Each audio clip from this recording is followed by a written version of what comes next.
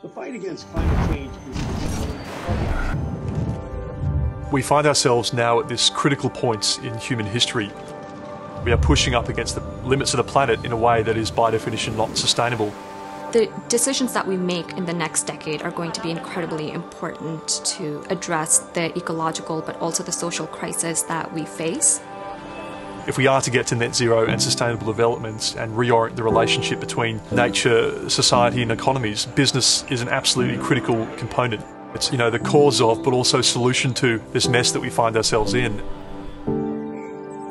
The idea behind a school of enterprise and the environment is helping private enterprise or public enterprise identify the things that they have to change to address the climate change problem. Basically, it is a, an industrial revolution, and we're trying to advise on that revolution.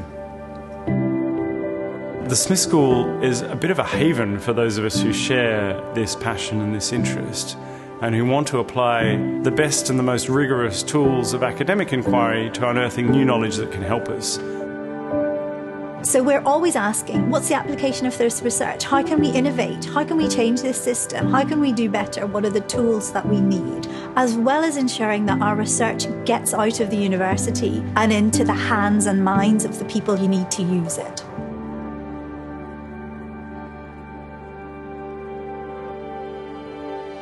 So we have people working in water, in energy, in finance, in law, in food, in infrastructure, all of which has this collective focus on thinking about enterprise and sustainable development. The Smith School's work is extremely important because it is striving to address the climate change issues, the environmental uh, challenges from an interdisciplinary perspective. You can really make a change if you drive these ideas into a practical reality. No single discipline can solve these problems alone, so we need to collaborate.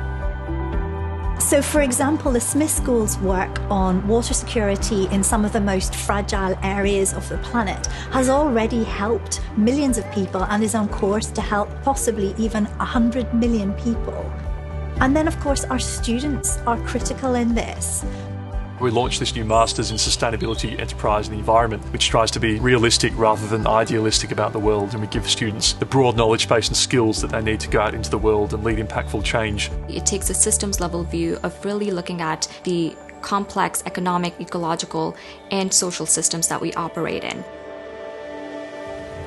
all the research in the world is only effective if it's then implemented in terms of what people do, how they think about things, how they invest. What we're trying to do is to define best practice to define the future of sustainable finance and investment. But we're also trying to translate that, and so we spend a lot of time working with practitioners to turn theory into practice. Our links span industry, government, public enterprise, policymakers, non governmental organisations, so we can really take our research to the people who need to adopt it.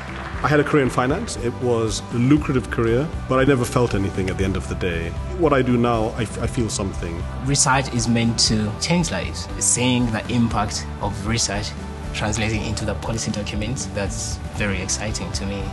Honestly, I think this is the challenge of our time. We need some really committed people who can be inspired and in turn can inspire others. And that's in a sense what we're trying to create. So if you're listening to this and you think you have something to contribute to the Smith School, please let us know.